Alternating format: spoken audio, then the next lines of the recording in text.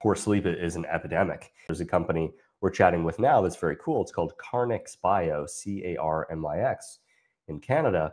And they are working on a peptide, epitalon, which is an extract of the pituitary gland, I believe it was.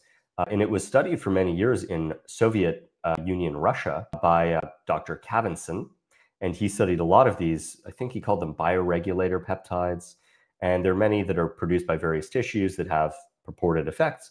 And epitalon actually has been studied many animal models and even in some human trials and in primates.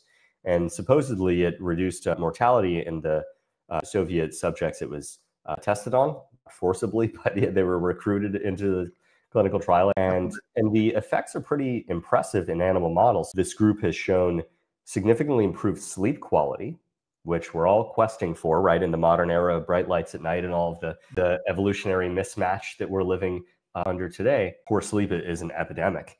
And the cool thing about epitalon is a single dose in the animals improves sleep for like 20 days after that dose significantly and hmm. without the side effects of sleeping pills you know grogginess or disordered sleep architecture et cetera so that could be huge